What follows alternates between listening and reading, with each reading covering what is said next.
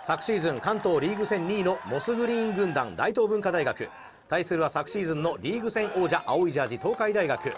リーチマイケル木津武ら OB も観戦に訪れていた注目の一戦です。序盤流れをつかんだのは大東文化。ゴールラインを背負ったディフェンスで6番服部相手ボールに絡むと東海大にペナルティーこれでピンチを脱します。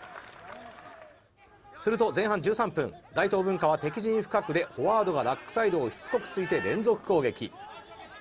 ここから最後はプロップ藤井が持ち込んで先制のトライです。その後さらに1トライを追加した大東文化が12対0リードします。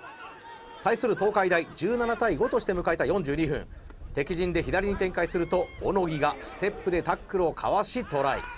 コンバージョンも決まって17対12 5点差まで追い上げ前半を折り返します、まあ、ちょっとディフェンスがかぶり気味になったところうまくカットインしてですね、ええ、その後は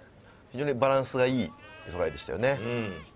画面は東海大真野キャプテン怪我で欠場ですね。後半先にリズムをつかんだのは東海大5分です。こぼれ球を拾った森木リード一気に加速。自慢の快速で敵陣深くまで持ち込むと左に展開します山菅塚野山田トビオ前本そして中村持ち込んでトライ。コンバージョンも決まって19対17と逆転します。最後は素晴らしいつなぎでしたけれどもこのセブンス日本代表経験もある森木リードの走りが見事でしたよね、うん、しっかりとしたダウンボールできましたのでいいトライにつながりましたね。はい。グラウンドを広く使ったトライでした。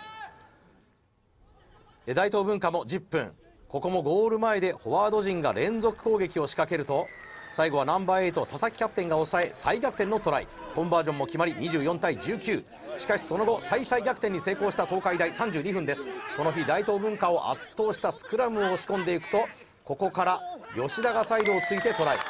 結局33対29の接戦で東海大学が勝利を挙げています。